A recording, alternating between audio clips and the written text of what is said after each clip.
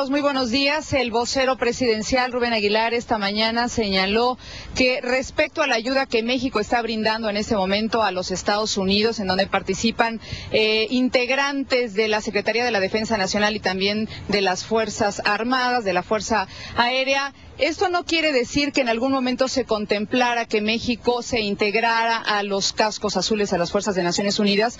México ha brindado este tipo de ayuda en otras ocasiones en Haití, ahora con también la tragedia del tsunami. Sin embargo, el debate reconoce está abierto, se ha tocado en Naciones Unidas, también en el Congreso mexicano. Reconoce que está abierto este tema, sin embargo, la presidencia reitera que por ahora, por lo menos, no se contempla que México se una a las actividades de los cascos azules o que participe con ellos. Sin embargo, reitero, el debate dice está abierto.